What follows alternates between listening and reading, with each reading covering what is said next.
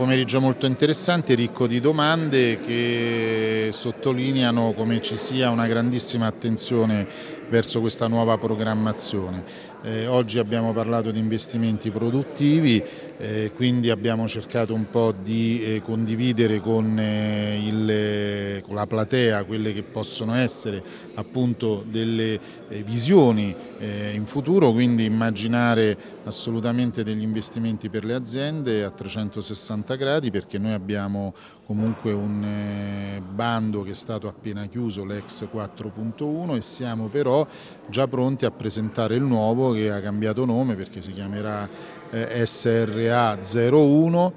però di fatto eh, diciamo che la sostanza è la stessa. Abbiamo fatto un'analisi dei risultati del vecchio bando cercando un po' di capire appunto quelle cose che eh, hanno avuto eh, un maggiore impatto positivo, quelle che hanno funzionato di meno. Sicuramente l'aspetto che è emerso in maniera chiara è che dobbiamo mettere mano alla semplificazione dal punto di vista proprio di accessibilità della burocrazia che spesso è un elemento diciamo, di contrasto al fine di eh, svolgere al meglio diciamo, le, le, le, gli obiettivi di questi bandi. Quindi eh, oggi eh, soprattutto questo è stato l'argomento, cioè tutte quelle misure per una veloce rendicontazione, per una facilità nell'accesso al bando e ai bandi, abbiamo parlato anche di eh, cronoprogramma, eh, dando un po' delle certezze soprattutto sui bandi che usciranno, eh, in modo tale che anche le aziende possano pianificare gli investimenti.